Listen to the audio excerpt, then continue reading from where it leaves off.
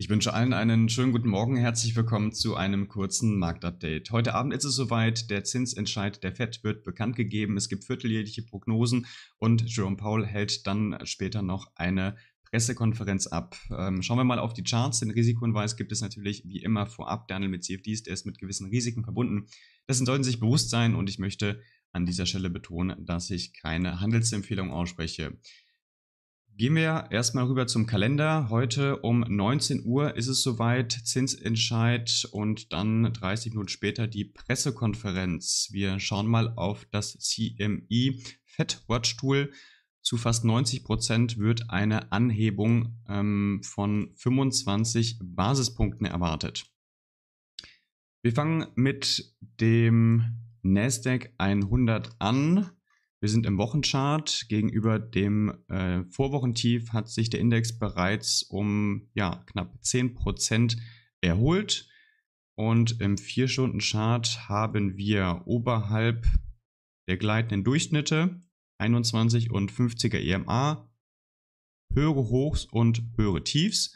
Deswegen ist zu erwarten, dass ja, die Möglichkeit besteht, das Jahreshoch zu testen bei 12.947 Punkten.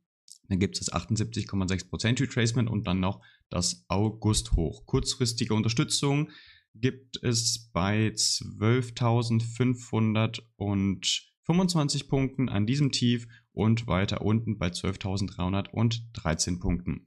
Euro-Dollar konnte gestern das Hoch bei 1,0759 nachhaltig per Schlusskurs durchbrechen. Heute ja, ist das Paar wenig verändert. Die nächsten Ziele sind markiert 10804, 10885 und dann das Jahreshoch bei 11033. Das ist die bullische Struktur und kurzfristige Unterstützung im 4-Stunden-Chart gibt es bei 104 ähm, 10704 und dann auch noch weiter unten bei 10631. Gold fällt äh, gegenüber dem Jahreshoch äh, um fast 4% zurück. Ja, 3,7, 3,8% sind das.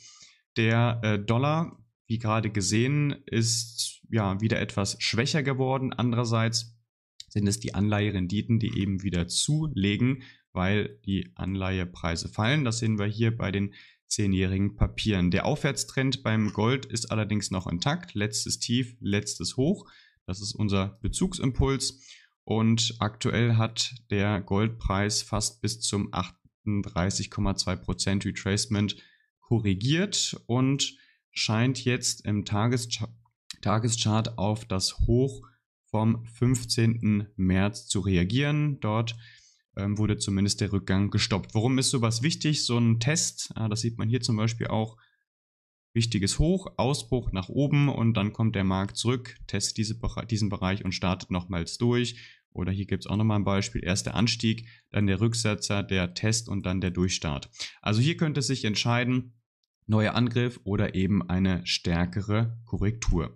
Lasst gerne einen Daumen da. Mehr Informationen äh, gibt es dann in meinem Video von heute Morgen. Den Link finden Sie wie immer unten in der Beschreibung. Viel Erfolg für heute und bis zum nächsten Mal.